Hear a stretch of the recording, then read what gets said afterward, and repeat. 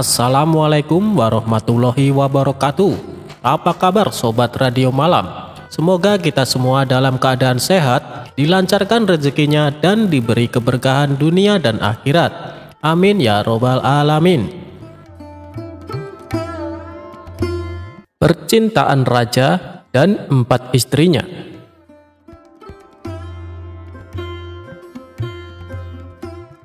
Dahulu kala, ada seorang raja yang mempunyai empat istri.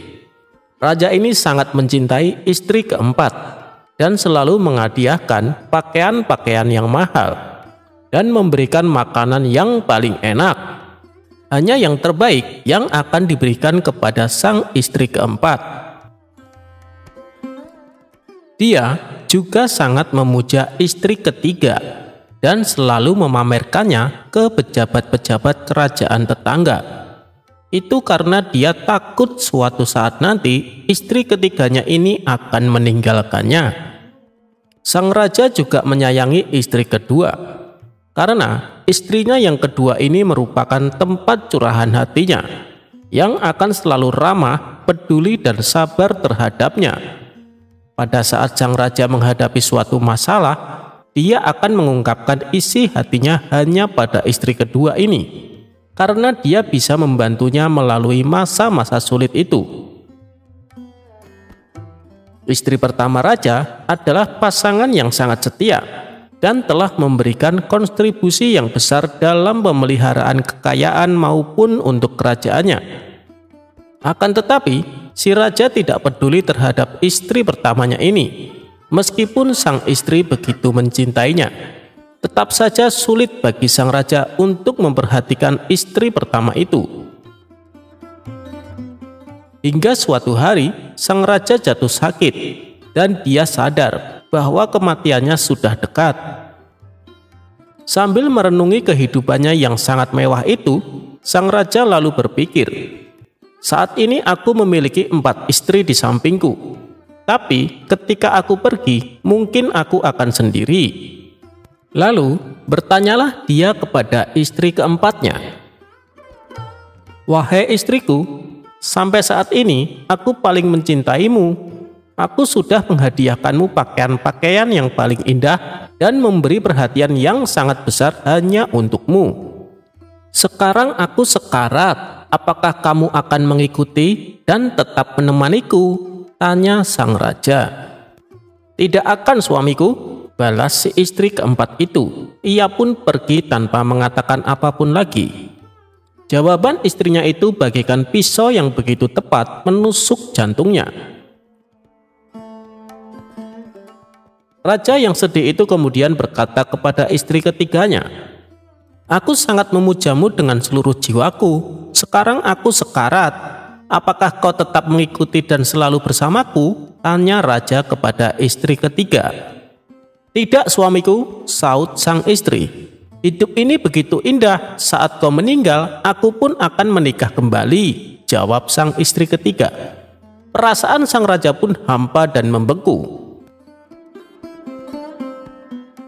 Beberapa saat kemudian, sang raja bertanya kepada istri keduanya, "Selama ini Bila aku membutuhkanmu, kau selalu ada untukku. Jika nanti aku meninggal, apakah kau akan mengikuti dan terus di sampingku? Tanya raja kepada istri keduanya. Maafkan aku suamiku, untuk kali ini aku tidak bisa memenuhi permintaanmu, jawab istri keduanya. Yang bisa kulakukan hanyalah ikut menemanimu menuju pemakamanmu, jawab istri kedua. Lagi-lagi, jawaban si istri kedua bagaikan petir yang menyambar dan menghancurkan hatinya. Dalam kesendiriannya, raja pun meneteskan air mata. Tiba-tiba sebuah suara berkata, Aku akan bersamamu dan menemanimu ke mana pun kamu pergi. Sang raja menolehkan kepalanya mencari-cari siapa yang berbicara dan terlihat olehnya istri pertamanya. Dia kelihatan begitu kurus, seperti menderita kekurangan gizi. Dengan penyesalan yang sangat mendalam, kesedihan yang amat sangat, sang raja berkata sendu, Seharusnya aku lebih memperhatikanmu saat aku masih punya banyak kesempatan.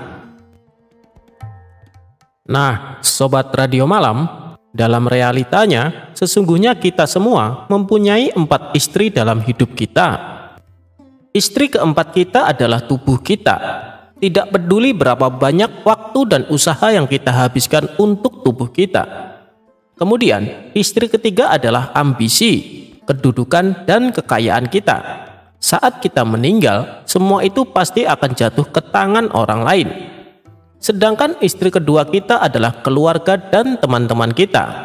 Tak peduli berapa lama waktu yang sudah dihabiskan bersama kita, tetap saja mereka hanya bisa menemani dan mengiringi kita hingga ke pemakaman. Dan akhirnya istri pertama kita adalah jiwa, roh, iman kita yang sering terabaikan karena sibuk memburu kekayaan, kekuasaan, dan kepuasan nafsu. Padahal jiwa, roh, atau iman inilah yang akan mengikuti kita ke mana pun kita pergi. Jadi, perhatikan, tanamkan, dan simpan baik-baik dalam hatimu sekarang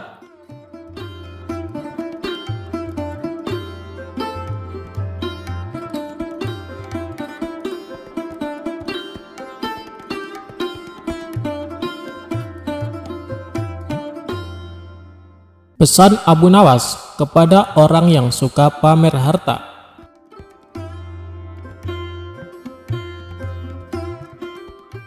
Siapa yang tak mengenal Abu Nawas? Sosok penyair cerdik yang dikenal memiliki selera humor tinggi ini begitu masyur di kalangan umat Islam. Meskipun tingkahnya yang nyeleneh, tetapi Abu Nawas merupakan seorang yang cerdas. Dikisahkan ada seorang pemuda yang gemar bersedekah kepada tetangga dan orang-orang terdekat. Ia juga dikenal sebagai sosok yang sederhana dan ramah. Akan tetapi, setelah mendapat warisan, kehidupannya berubah.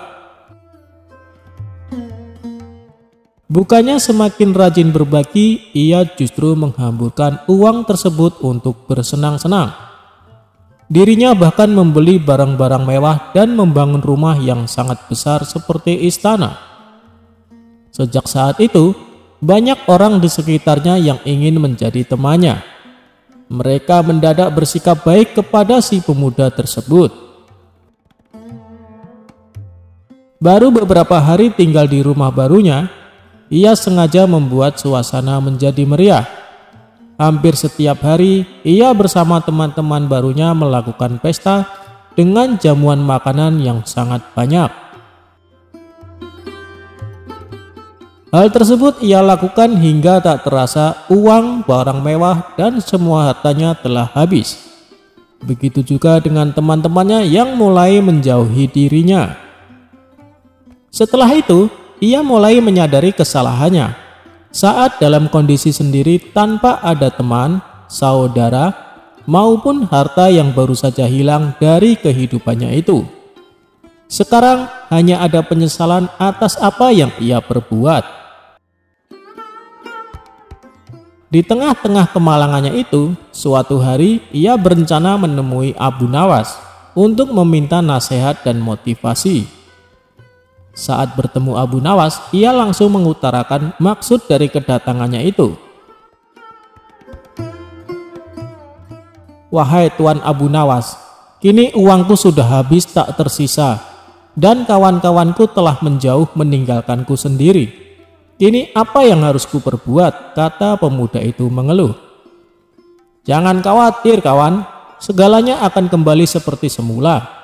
Tunggu saja beberapa hari ke depan, engkau akan kembali bahagia dengan harta-hartamu yang dulu. Tutur Abu Nawas menenangkan suasana. Jadi maksud Tuan saya akan kembali kaya seperti dulu? Tanya pemuda itu dengan girang. Bukan begitu kawan, sepertinya engkau salah tafsir. Maksudku dalam waktu dekat ini, engkau akan terbiasa menjadi orang yang miskin dan tidak mempunyai teman Seloroh Abu Nawas.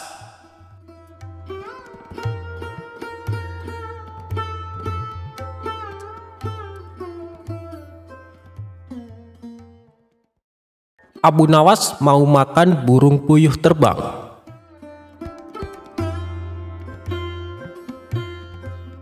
Kisah ini dimulai di suatu pagi yang cerah.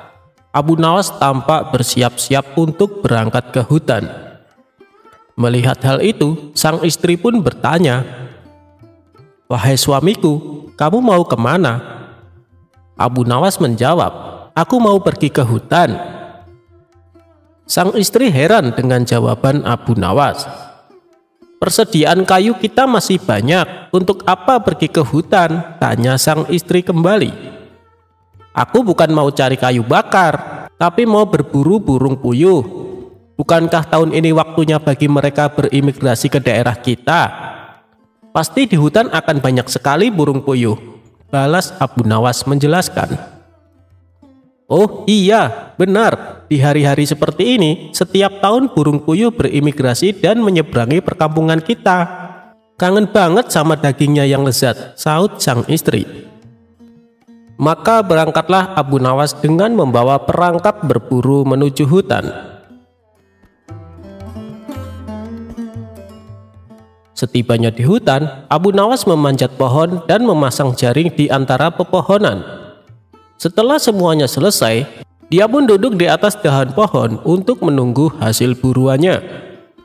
Selang beberapa saat, satu persatu burung puyuh menubruk jaring dan jatuh ke tanah. Dengan sigap, Abu Nawas langsung menangkapnya.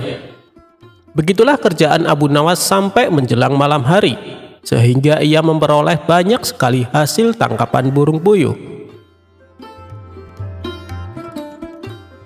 Selanjutnya, Abu Nawas pulang ke rumah dengan hati penuh gembira. Wahai istriku, aku memperoleh burung banyak sekali, ucap Abu Nawas. Sang istri pun menjadi ikut senang karena ia sudah kangen dengan masakan daging burung puyuhnya. Besok aku akan mengajak Tuan Hakim dan kawan-kawan untuk makan bersama kita. Wahai istriku, buatlah masakan daging puyuh yang paling lezat, pinta Abu Nawas kepada istrinya. Keesokan harinya, Abu Nawas menanyakan kepada sang istri apakah hidangan daging burung puyuhnya sudah siap? Sudah wahai suamiku, masih aku taruh di wajan agar panasnya tetap awet, jawab sang istri. Lalu Abu Nawas membuka tutup wajan untuk mengintip masakannya. Aromanya nikmat sekali. Oh iya, rotinya tidak sekalian dicampur, kata Abu Nawas menyarankan sang istri. Menuruti permintaan Abu Nawas, ia memasukkan beberapa roti ke dalam wajan dan menutupnya kembali. Kemudian Abu Nawas keluar. Baiklah, aku akan keluar sebentar untuk memanggil kawan-kawan dan Tuan Hakim, ucap Abu Nawas. Lalu Abu Nawas pergi menemui kawan-kawannya dan juga Tuan Hakim. Tuan Hakim sangat senang dengan undangan ini Mengingat daging puyuh adalah makanan kesukaannya, dia pun segera menuju ke rumah Abu Nawas. Sementara sang istri merasa cemburu karena Abu Nawas lebih mementingkan orang lain daripada dirinya. Padahal masakan daging puyuh juga merupakan makanan kesukaannya. Dia pun segera memasukkan semua masakan daging puyuh ke dalam baskom yang sudah dipersiapkan. Kemudian baskom tersebut disembunyikan Sedangkan wajan yang telah kosong ia isi dengan burung puyuh yang masih hidup dan menutupnya kembali. Tak lama kemudian, datanglah Abu Nawas bersama Tuan Hakim dan kawan-kawannya. Semua tamu undangan dipersilakan duduk di depan meja makan. Lantas Abu Nawas mulai meletakkan piring kosong di depan setiap orang tidak lama lagi, di depan kalian akan ada makanan daging puyuh yang paling lezat, ucap Abu Nawas. Abu Nawas lalu masuk ke belakang untuk mengambil wajan dan meletakkannya di meja di hadapan para tamunya. Tak kala dia mengangkat tutup wajan, burung-burung puyuh itu berterbangan keluar. Semua tamu yang diundangnya langsung kaget, apalagi Abu Nawas. Abu Nawas pun menjadi bingung dengan apa yang terjadi. Ya Allah, aku telah memburu burung-burung puyuh itu dan memasaknya, tapi dengan kuasamu engkau hidupkan kembali mereka. Abu Nawas dan kawan-kawannya heran melihat kejadian ini. Sementara di dalam kamar, sang istri dengan asiknya memakan daging puyuh yang dimasaknya. Abu Nawas disuruh memilih ibu kandungnya yang asli. Kisah ini mirip dengan kejadian pada masa Nabi Sulaiman ketika masih muda. Entah sudah berapa hari kasus seorang anak bayi yang diakui oleh kedua orang ibu yang sama-sama sangat ingin memiliki anak. Hakim pun rupanya mengalami kesulitan untuk memutuskan dan menentukan perempuan yang menjadi ibu bayi itu sebenarnya. Kasus ini sudah berlarut-larut tanpa ada keputusan yang jelas. Hakim akhirnya menghadap Baginda Raja untuk meminta bantuan. Baginda pun turun tangan. Baginda memakai taktik rayuan. Baginda berpendapat mungkin dengan cara-cara yang amat halus, salah satu wanita itu ada yang mau mengalah. Tetapi kebijaksanaan Baginda Raja justru membuat kedua perempuan makin mati-matian, saling mengaku bahwa bayi itu adalah anaknya. Baginda pun putus asa. Mengingat ada cara lain lagi yang bisa diterapkan, Baginda pun berpikir mungkin perlu memanggil Abu Nawas meminta bantuannya. Abu Nawas hadir menggantikan hakim. Abu Nawas tidak menjatuhkan putusan pada hari itu, melainkan menunda sampai hari berikutnya. Semua yang hadir yakin Abu Nawas pasti sedang mencari akal, seperti yang biasa dilakukan. Padahal penundaan itu hanya disebabkan oleh hal lain, yaitu seorang Algojo yang harusnya masuk dalam taktik Abu Nawas tidak berada di tempat.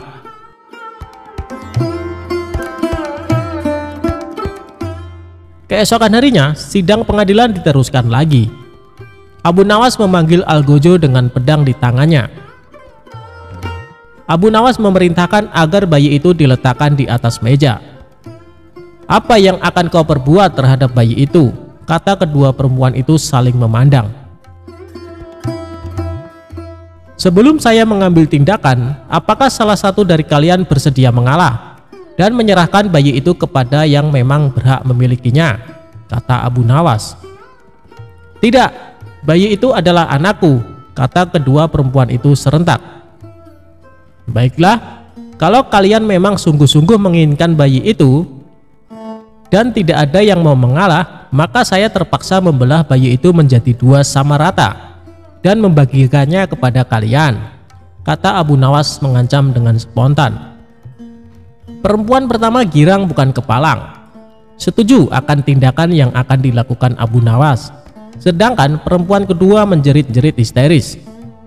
Jangan, tolong jangan belah bayi itu, Biarlah aku rela bayi itu seutuhnya diserahkan kepada perempuan itu, kata perempuan kedua. Abu Nawas tersenyum lega. Pemilik sebenarnya bayi tersebut sudah diketahui. Abu Nawas segera mengambil bayi itu dan langsung menyerahkan kepada perempuan kedua. Abu Nawas minta agar perempuan pertama dihukum sesuai dengan perbuatannya karena tidak ada ibu yang tega menyaksikan anaknya disembelih, apalagi di depan mata. Baginda Raja merasa puas terhadap keputusan Abu Nawas. Sebagai rasa terima kasih, Baginda Raja memberikan sejumlah hadiah atas bantuannya yang sangat berguna.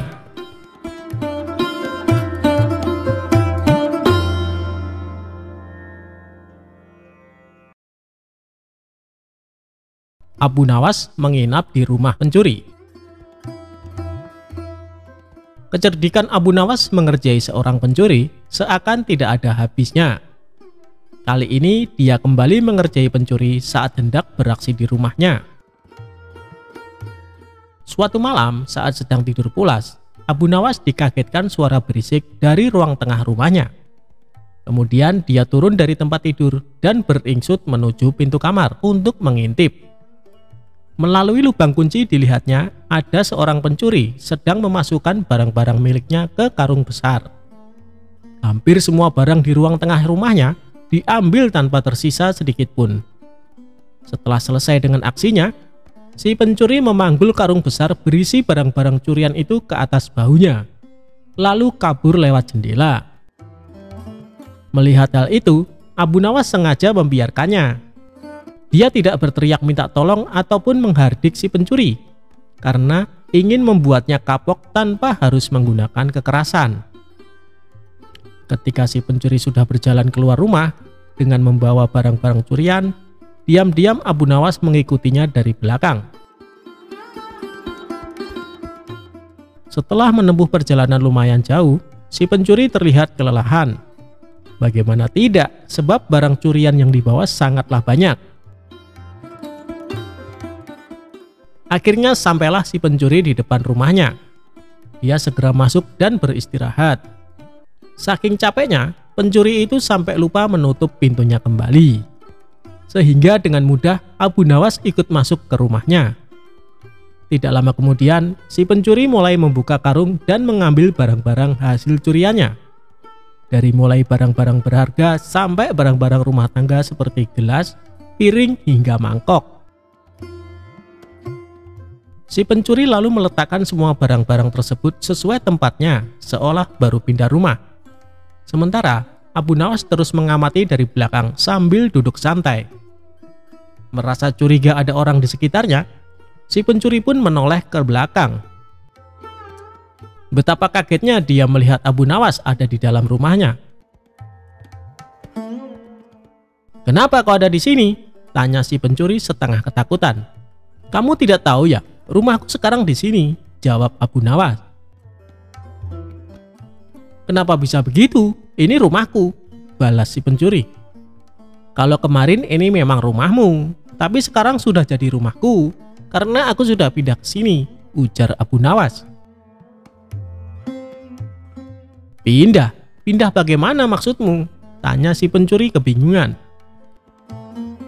Coba lihat, semua barang di rumah ini Semuanya adalah milikku, jadi rumah ini adalah milikku, jelas Abu Nawas.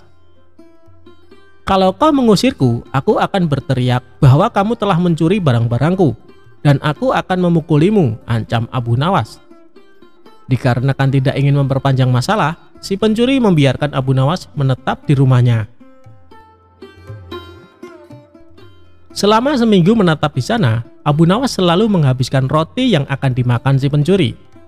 Belum lagi susu dan madu yang disiapkan di dalam lemari dengan lahapnya Abu Nawas habiskan semua. Selama itu pula setiap hari si pencuri terpaksa tidur dengan menahan rasa lapar. Kalau begini bukan aku yang merampok, tapi dia yang merampok semua makananku, pikir si pencuri merasa kesal.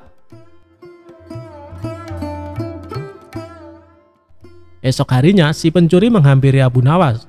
Tuan, Bagaimana caranya supaya Tuan kembali ke rumah Tuan? Tanya si pencuri.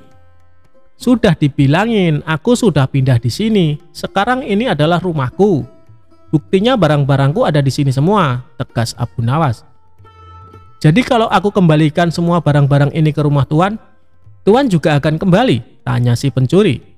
Tentu saja, kalau di sini sudah tidak ada barang-barangku, jadi ini bukan rumahku lagi, balas Abu Nawas. Akhirnya dengan susah payah si pencuri mengembalikan semua barang-barang Abu Nawas ke rumahnya. Sejak saat itu, Abu Nawas tidak lagi berada di rumah si pencuri. Si pencuri pun tobat dan kini menjadi lebih tenang. Ia tidak ingin lagi berurusan dengan Abu Nawas.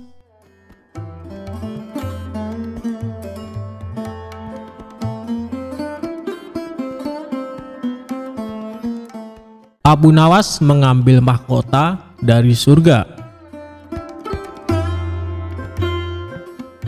Dikisahkan, pada suatu hari Baginda Raja menyamar menjadi rakyat biasa. Beliau ingin menyaksikan kehidupan di luar istana tanpa sepengetahuan siapa pun agar lebih leluasa bergerak. Baginda mulai keluar istana dengan pakaian yang amat sederhana agar tidak terlihat seperti seorang raja oleh rakyatnya. Ketika raja sampai di sebuah perkampungan, Beliau melihat beberapa orang berkumpul. Setelah Baginda mendekat, ternyata seorang ulama sedang menyampaikan kuliah tentang alam barzah. Kemudian ada pertanyaan dari seseorang yang datang dan bergabung di tempat itu. Ia bertanya kepada ulama tersebut, "Kami menyaksikan orang kafir pada suatu waktu dan mengintip kuburnya. Tetapi kami tidak mendengar mereka berteriak dan tidak pula melihat penyiksaan-penyiksaan yang katanya sedang dialaminya. Maka bagaimana cara membenarkan sesuatu yang tidak sesuai dengan yang dilihat mata? Tanya orang itu. Ulama itu berpikir sejenak, kemudian ia berkata, "Untuk mengetahui yang demikian itu harus dengan panca indera yang lain. Ingatkah kamu dengan orang yang sedang tidur? Dia kadangkala bermimpi dalam tidurnya digigit ular, diganggu dan sebagainya. Ia juga merasa sakit dan takut ketika itu, bahkan memekik dan keringat bercucuran pada keningnya. Ia merasakan hal semacam itu seperti ketika tidak tidur. Sedangkan engkau yang duduk di dekatnya menyaksikan keadaannya seolah-olah tidak terjadi apa-apa. Padahal apa yang dilihat serta dialaminya adalah dikelilingi ular-ular. Maka jika masalah mimpi yang remeh saja sudah tidak mampu mata lahir melihatnya, mungkinkah engkau bisa melihat apa yang terjadi di alam barzah? Kata sang ulama. Baginda Raja terkesan dengan penjelasan ulama itu. Lalu ulama itu melanjutkan kuliahnya tentang alam akhirat. Dikatakan bahwa di surga tersedia hal-hal yang amat disukai nafsu, termasuk benda-benda. Salah satu benda-benda itu adalah mahkota yang amat luar biasa indahnya. Tak ada yang lebih indah dari barang-barang di surga, karena barang-barang itu tercipta dari cahaya. Saking indahnya, maka satu mahkota jauh lebih bagus dari dunia dan isinya. Baginda makin terkesan. Beliau lalu pulang kembali ke istana. Baginda sudah tidak sabar ingin menguji kemampuan Abu Nawas. Baginda Raja memerintahkan menterinya untuk memanggil Abu Nawas ke hadapannya.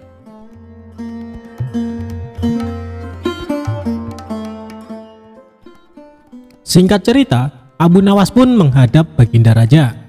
Aku menginginkan engkau sekarang juga berangkat ke surga. Kemudian bawakan aku sebuah mahkota surga yang katanya tercipta dari cahaya itu. Apakah engkau sanggup Abu Nawas? Tanya Baginda Raja. Sanggup Paduka yang mulia? Kata Abu Nawas langsung menyanggupi apa yang mustahil dilaksanakan olehnya itu. Tetapi Baginda harus menyanggupi pula satu syarat yang akan hamba ajukan kata Abu Nawas dengan percaya diri. Sebutkan syarat itu, kata Baginda Raja. Hamba mohon Baginda menyediakan pintunya agar hamba bisa memasukinya, kata Abu Nawas. Pintu apa? Tanya Baginda belum mengerti. Pintu alam akhirat, jawab Abu Nawas. Apa itu? Tanya Baginda ingin tahu. Kiamat, wahai paduka yang mulia. Masing-masing alam mempunyai pintu. Pintu alam dunia adalah liang peranakan ibu. Pintu alam barzah adalah kematian. Dan pintu alam akhirat adalah kiamat. Jelas Abu Nawas kepada Baginda Raja. Surga berada di alam akhirat. Bila Baginda masih tetap menghendaki hamba mengambil sebuah mahkota di surga, maka dunia harus kiamat terlebih dahulu. Lanjut Abu Nawas.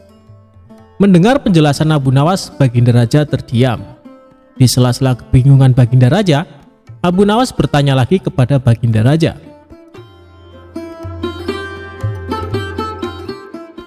Masihkah Baginda menginginkan mahkota dari surga? Tanya Abu Nawas. Baginda Raja tidak menjawab, beliau diam seribu bahasa. Sejenak kemudian, Abu Nawas mohon diri karena Abu Nawas sudah tahu jawabannya.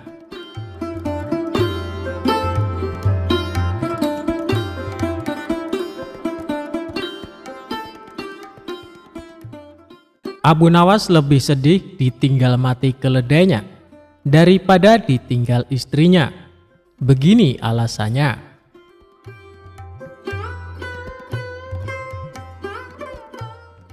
Abu Nawas terkenal dengan sosok yang jenaka, sehingga tak jarang masyarakat terhibur dengan tingkah lakunya. Abu Nawas merupakan tokoh sufi juga penyair kenamaan yang cerdik dan cerdas. Abu Nawas dan istrinya dikenal salah satu keluarga yang sangat harmonis, sehingga tak jarang dari masyarakat yang iri melihat keharmonisannya. Istri Abu Nawas juga dikenal warga sebagai wanita soleha, hingga pada akhir hayatnya banyak masyarakat pun merasa sedih ditinggalkannya.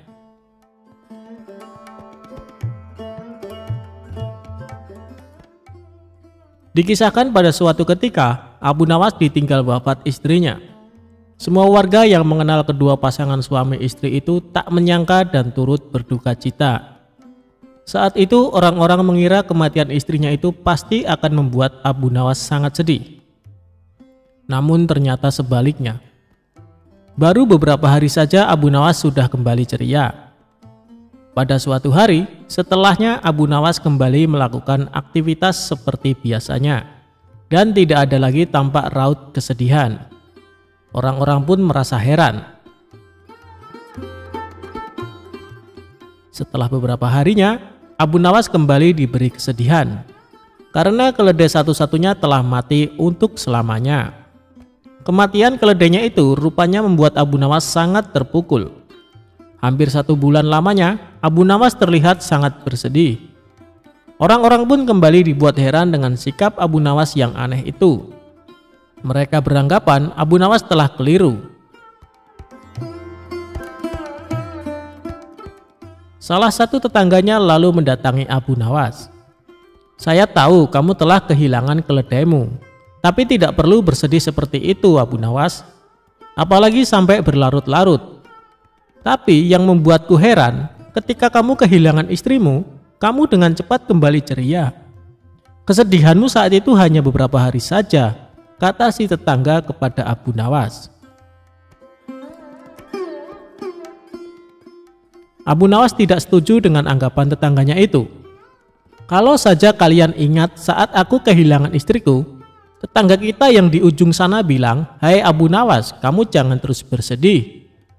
Saudara perempuanku siap menjadi istri terbaikmu. Sementara tetangga kita yang lain berkata, Hai Abu Nawas, berbahagialah. Anak perempuanku yang cantik siap akan aku nikahkan denganmu tanpa mas kawin. Oleh sebab itulah saat kepergian istriku, hatiku pun tidak terlalu bersedih.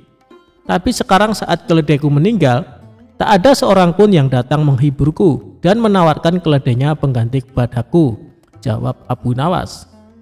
Mendengar penuturan Abu Nawas, tetangganya itu hanya terdiam dan tak berkata apa pun.